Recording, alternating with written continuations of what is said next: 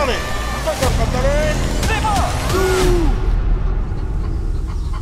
Is that a duck or a chicken?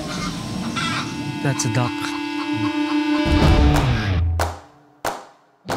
Yes, we have uh, this competition coming up for Kaamatan. Tarik Tali, I do, of course, obviously I do Tarik Tali. It's a traditional sport between the teammates. It's the aggressiveness, you know. Even the women, they show lots of alphaness. Nigel, he is really interesting man. I find him very sweet. I find him very lovable. Really romantic. So I have my girl, the one I mentioned. She she little meow meow girl. Yeah.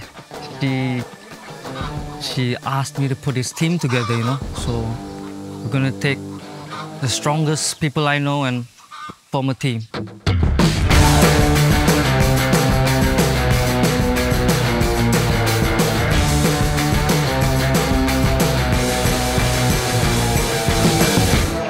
So, so do you know who you're going to go against? I have a rough idea, but uh, probably some orang tua lah.